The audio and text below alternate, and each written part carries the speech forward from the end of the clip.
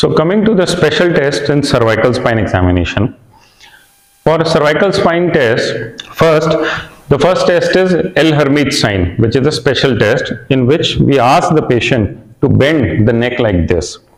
If because of this bending, there is electric current like sensation traveling in the arm and in the leg, especially in the leg, that this, then this means there is some problem in the upper cervical spine or near the brainstem region.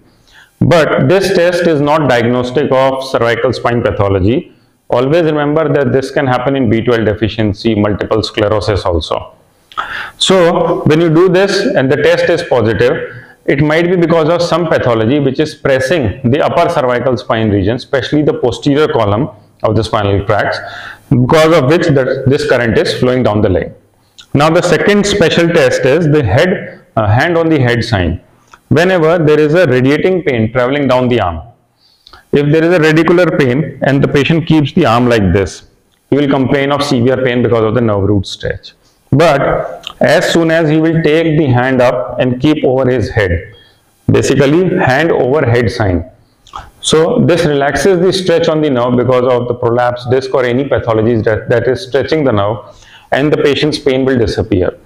This test is also very relevant because in history itself the patient will tell you that when I keep my hand over my head like this, especially in the night while sleeping or while traveling, it gives me relief.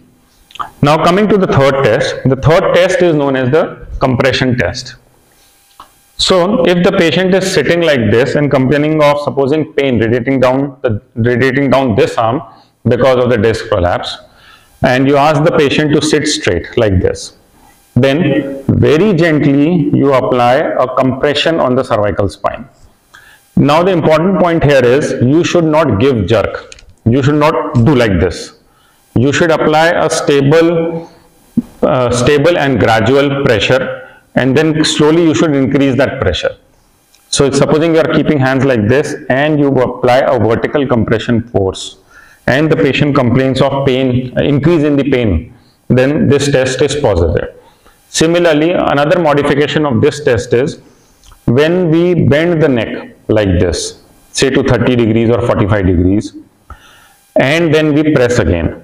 So when we do like this, if there is a disc in the spine which is pressing the nerve, when we do like this, the area for the disc becomes very less. And on top of that, when we do compression, the area becomes even less. So this test causes even more pain radiating down the arm. So if vertical compression test is not positive, then only you should do this test. If the vertical compression test is positive, and you go and you go on and do this test, the patient might even complain of severe pain or might end up with some neurodeficit. So now the third test in the same sequence is when we do a cervical distraction test. Supposing if patient is complaining of pain going down this arm, we hold the hand, we keep our fingers under the jaw. With this thumb, I stabilize the posterior part of the head and then I pull the patient's neck towards the ceiling. When I do this, there is a distraction or there is a traction in the cervical spine because of which the space for the nerve increases. So this reduces the pressure onto the nerve and the pain in the arm reduces. So all these tests are special tests for cervical spine disc prolapse. So these are stretch tests. Now coming to the next test which is the lateral compression test or the lateral stretch test. In this test, we ask the patient to simply bend the neck to the affected side. If while doing this test, the radicular pain in the arm increases, that means there is a pressure on the disc, there is a pressure on the nerve from the lateral side. Similarly, if while doing this test, the pain in this arm increases, then that means that there is a pressure on the nerve from the medial side. That is, the, the pathology is medial to the nerve. So now coming on to the next test. The next two tests are basically for thoracic outlet, outlet syndrome. You should know two tests for thoracic outlet syndrome because very commonly in DNB or MS exam, the examiner asks you to differentiate between cervical spine pathology and thoracic outlet syndrome. So the first test is the Adson's test in which you take out and externally rotate, you abduct and externally rotate the patient's arm to say around 30 degrees. You keep, uh, you measure, you take a measure of the patient's radial pulse. You ask the patient to bend the neck towards the affected side and ask the patient to take deep breath.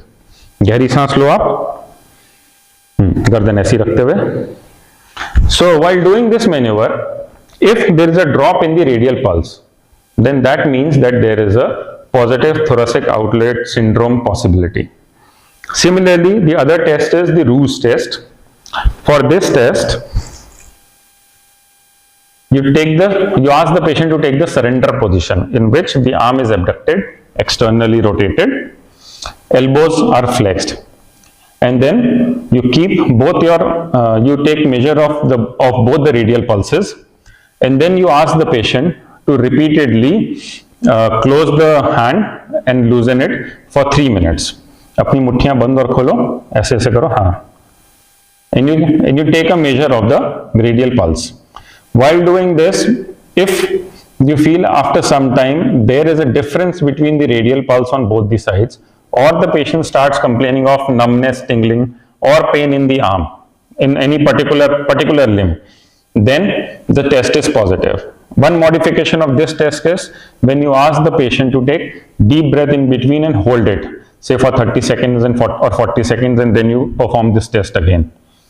So these two tests are specific for thoracic outlet syndrome so these are some of the special tests in cervical spine that you are supposed to know for your ms or DNB exam